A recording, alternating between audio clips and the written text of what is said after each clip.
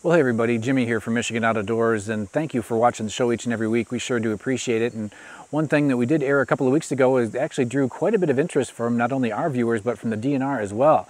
We did a story talking about the wolf population in Michigan, and if you caught that, it was on about a week and a half ago, two weeks ago now. And if you didn't see it, you might want to go back and check it out. But during that interview, uh, the DNR actually stated that the wolf population has no impact on the deer population in the Upper Peninsula. Well, we know that is not the case. And in fact, right after that segment aired, I mentioned that on the television show that we, we know that they have an impact. The question is how big of an impact. But the fact that the DNR said there was no impact, that really set off a lot of people to not only contact us here at the television show, but a lot of people at the DNR as well. So the DNR issued a statement trying to just kind of clarify what was meant to be said in that interview. And I thought that was kind of interesting for them to do. And so I thought I would read that to you uh, to get your thoughts on that. But uh, again, this is from our wolf episode where we talked about the wolf population. Here's what the DNR sent us. A statement the DNR's large carnivore specialist Brian Roell made to Michigan Out of Doors TV regarding wolves and deer in the Upper Peninsula was incomplete and lacked context. Wolves, along with other predators, habitat, and weather, do have an impact on deer populations. Brian was seeking to put the impact of wolves in a broader context relative to other factors influencing the growth of the deer population. He referred to specifically a decade of extensive research by the DNR and partner organizations that evaluated the roles of habitat, winter weather, and predation on deer populations in the Upper Peninsula. The result of this long-term study identifies many factors that are much more determinative of deer populations than wolves.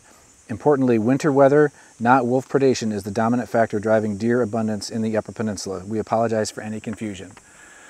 So there you have it. That's straight from the DNR, and obviously they got enough um, blowback, if you will, from, from the viewers of our show that they wanted to try to clarify what was said there. I, I, don't think they needed to make that statement, but they did.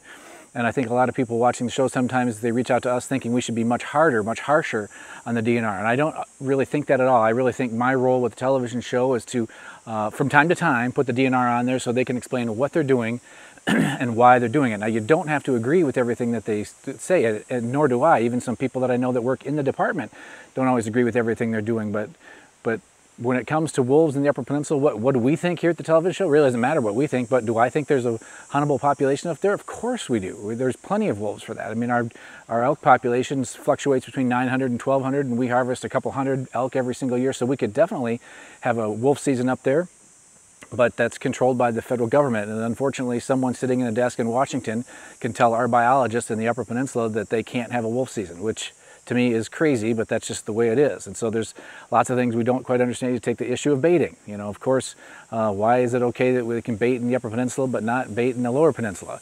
I mean, the whole reason the DNR told us we can't bait is because there's too much nose-to-nose -nose contact between deer when they're at a bait pile. But does that not apply to the Upper Peninsula? I, you know, there's just things like that that don't make a lot of sense.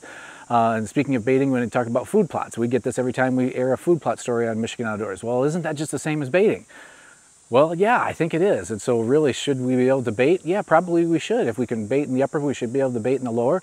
But again, those are just our opinions. And so what we do with the DNR is try to have them explain what they're doing and why, even if we don't always agree with it. So that's their statement, and we appreciate them doing that, even though I don't think they needed to.